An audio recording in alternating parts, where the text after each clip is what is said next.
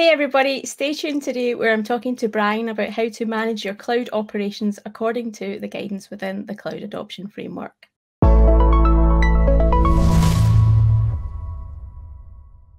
Welcome to the Azure Enablement Show. In this show, we're having technical conversations with Microsoft experts about some of the common questions or obstacles that you might face on your cloud adoption journey.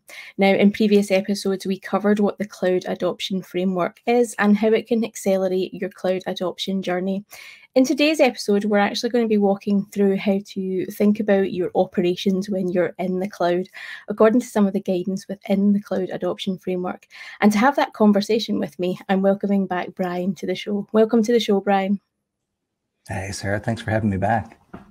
Awesome. Now, thinking about operations in the cloud, Brian, is there much difference from that traditional IT operations that our customers are used to? I like most most things in the cloud. That kind of depends. Um, you can replicate operations from on-prem to the cloud, but a lot of customers look at the shift and this this uh, effort to transform digitally as an opportunity to transform operations as well. And actually, I have a slide that might share a little bit about what that looks like. Uh, so let's just switch over to the slide here. And uh, what we see today is that there is a bit of a paradigm shift that we see happening. So in traditional IT operations, it's all about enforcement and control. There's central controlled responsibility. Um, but just like with cars, IT's gotten smarter. Cars now have GPS that help them navigate a little bit better. Mm, some of them are self-driving. Uh, so the role of IT shifts a little bit when that happens. And we focus more on enable and support and really creating freedom and delegated responsibility. So now IT operations focuses more on how do we put in the right infrastructure, the right guardrails, the right controls so that people can drive about as they need and really scale how much you can take through that those systems and those operations. Now, when I've heard people talking about operations management, I've heard them talk about the Cloud Center of Excellence, Brian. Is that mm. alluding to the kind of operating model that we talked about in previous episodes? Where does that fit in in this jigsaw puzzle? Yeah, that that's definitely a big part of enabling this this uh, paradigm shift. Um, the paradigm shift in operations really equates to a paradigm shift in organization. So in the classic IT world, you would have um, your central IT standing between the various different workload teams and the data center environment they want to deploy to. And so what we see when we shift to a cloud center of excellence model is a little bit less of that central control to where cloud adoption efforts, or specifically over on the left, your workload teams, they focus on really deploying to the cloud, building out new innovations, getting them out to the cloud. But to do that, you still need some of that central IT support. So Cloud Center of Excellence is a new way of thinking of providing cloud governance, really building out the cloud platform, putting in automation and security controls so that those workload teams can really approach the adoption of different cloud solutions and this comes in conjunction with making sure that you're fulfilling your strategy. But the biggest shift in all of this, and the reason why central IT can back out a little bit, is because there's a shift in where cloud operations happens. A lot of organizations that are taking this cloud center of excellence approach actually move cloud operations out of IT and make it more of its own standalone uh, organization or maybe it's still in, inside of IT, but it behaves a little bit differently and gets a lot more of its funding from the line of business and workload teams. And what this causes is a little bit of distinction in cloud operations works. So in a traditional world, uh, cloud operations would be shifted way to the right, and they're focused on managing every workload inside of a consistent platform using a baseline. Well, now there's a little bit more flexibility. And you may see that some parts of cloud operations are more baseline platform operations focused. Others are very workload focused. And so that shift, that flexibility is what enables the paradigm shift that we're seeing in IT ops. Now, I know in the past, Brian, I've asked you about some customer real scenarios um, that you mm-hmm. can share along this storyline. Have you got any stories that you could maybe share with us in terms of how other customers have dealt with operations in the cloud? Yeah, absolutely. And just like with your your strategy, your motivations and what you want to do is really important how you want to operate. So I was working with a, a very large bank who can't talk about publicly, but they they went through a number of really visible security breaches, like a lot of companies have. And for them, their strategy was all about keeping things safe They, they were more concerned with the security of their customers than maintaining pace of innovation. So for them, this type of model didn't make a lot of sense. They couldn't really quickly go to, to a cloud center of excellence. So for them, cloud operations was shifted way to the right on the spectrum, and it was really a central IT function. And they still had those barriers in place. Uh, separate customer in the retail space, uh, they, they've had security issues in the past, but they weren't as important anymore because we've established good security parameters, good governance guardrails, and now they start looking to the future of saying, how can we innovate quickly? So for this, with this customer, they decided to move more of their operations way over to the left and become more of a workload centric operations team and focus on enabling innovation over protection and control. Now, the reality is most of the customers I work with aren't on either of these two extremes. They're somewhere in the middle where they have some parts of operations that are central, some parts of operations that are decentralized. And that really helps them find the balance. But we can share more of those stories as we go through the conversation today. Awesome. Thank you, Brian. If an organization is actually looking to get started with their, their operations in the cloud, where do they actually begin? Is there a set pattern for them to start with? Yeah, yeah. So, so just like any transformation, operations transformations takes time, but we like to try to keep it as simple as we can and start with a very easy step of just get a management baseline in place. This makes sure that you have the minimum protections that you need across all of the assets you have in the cloud. Um, but then from there, really building out the right business commitments and using those business commitments to expand the management baseline and start to get into more of those advanced operations and richer design principles. And so this four-step process gives you a controllable path or plan that you can follow to really evolve your, your IT operations in the cloud.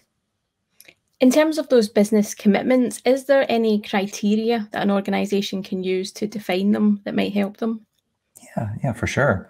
Um, so when we look at the the cloud adoption frameworks manage methodology, that's actually what we start with is the business commitments on the top here.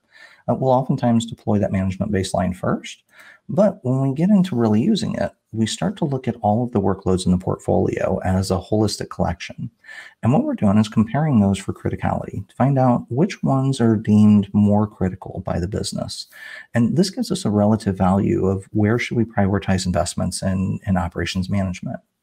Uh, then we validate that with impact, understanding what's the real time value metric of any kind of disruption to performance or downtime. And what that means is we're looking at um, if this application's down for a few minutes, does it cost a lot of money? In that banking scenario, for instance, if they lost their core banking application, money stops flowing and it costs millions of dollars. Well, if they lose the application that manages their turnstiles in front of their, their doors, maybe that's not as important. So it doesn't need as much of an investment. And so we use those type of metrics to really get fine grained on where do you want to make investments and where are the returns, which lead to the commitments. And this helps IT figure out are we paying for these operations or are you paying for them for anything that goes above and beyond the baseline? So, thinking about that baseline, what is the actual goal of setting the baseline? What's the purpose of that, Brian? Yeah, great question. So when we when we look at the operations baseline, uh, we have to look at the the holistic view of the portfolio.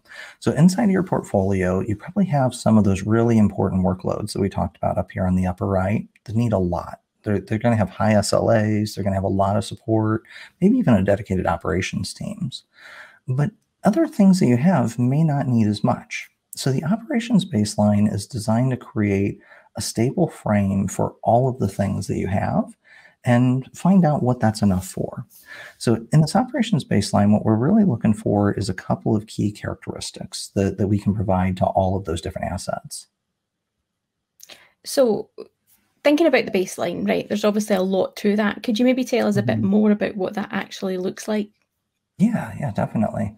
So when we look at the baseline, it focuses on three primary areas for every single asset you have in the cloud, we want to give you inventory and visibility so that you can see what's going on and monitor.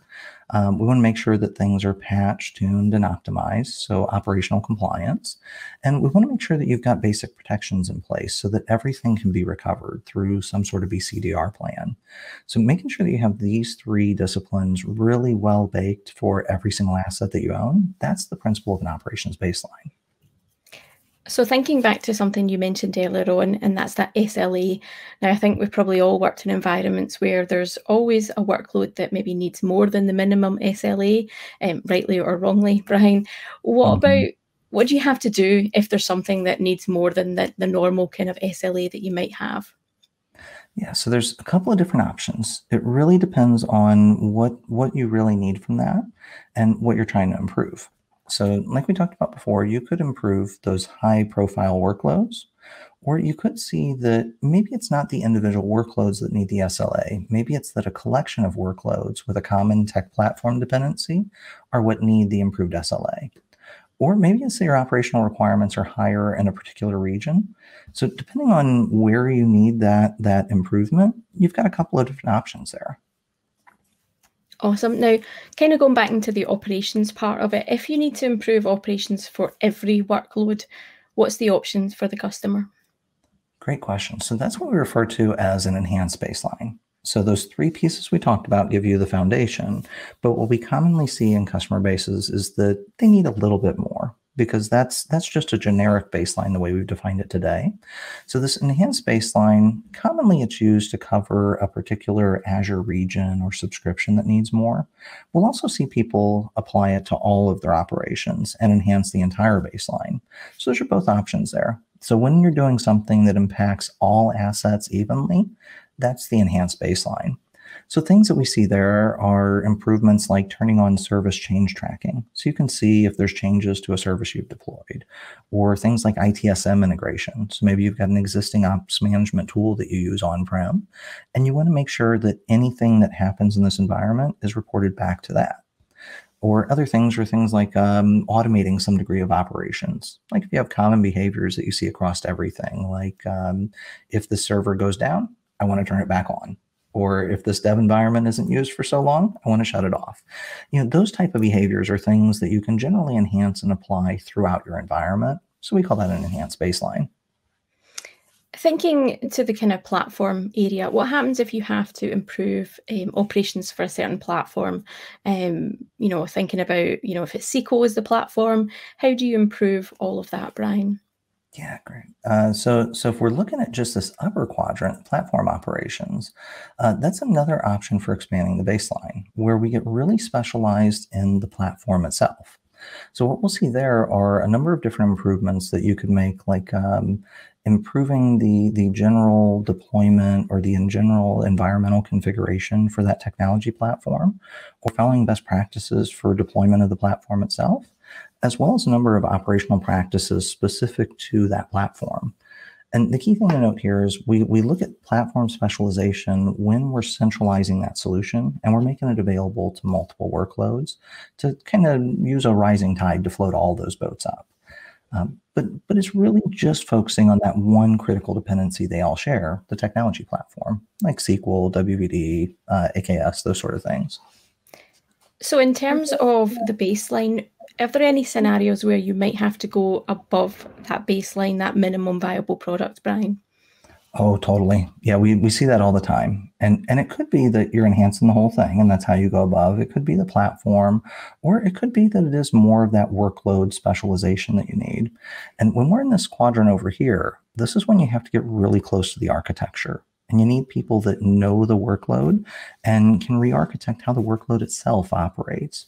So we have a, a complementary framework that works in conjunction with this methodology called the well-architected framework.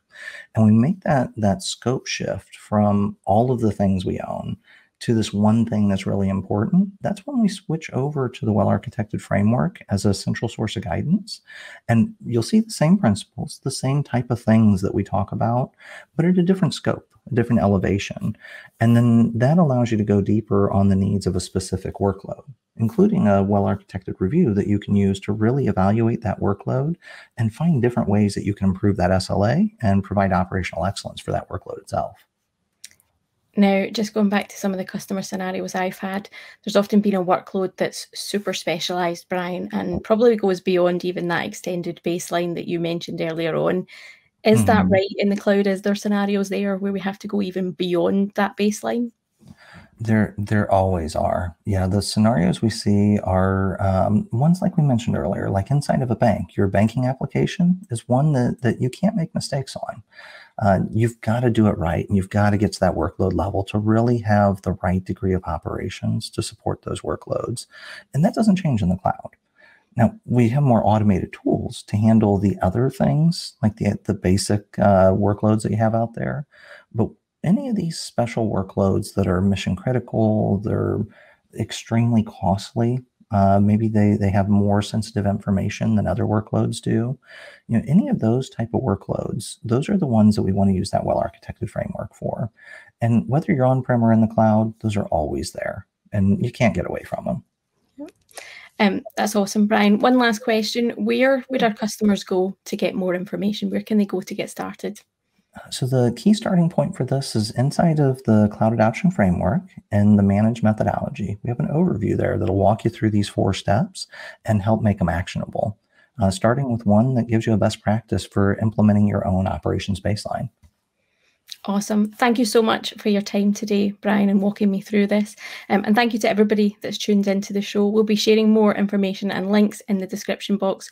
So be sure to check that out and stay tuned for future episodes of the Azure Enablement Show.